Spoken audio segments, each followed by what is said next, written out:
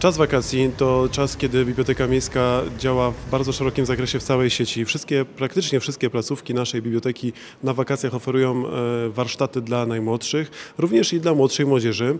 Niedługo ruszają kolejne warsztaty w Bibliotece Miejskiej tu w budynku głównym. To będą warsztaty związane z eksperymentami. Fizyka, chemia, warsztaty kulinarne, tam też sporo poeksperymentujemy.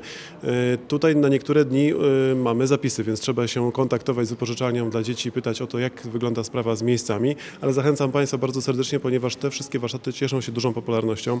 Bardzo dużo dzieci przychodzi eksperymentować do biblioteki, z czego my ogromnie się cieszymy. Jeżeli bliska Wam jest sztuka, lubicie malować, filia numer 17, zmaluj sobie wakacje, tam odnosimy się do takich autorów jak Jackson Pollock, Olga Boznańska, malujemy, naśladujemy, kombinujemy, świetnie się przy tym bawimy.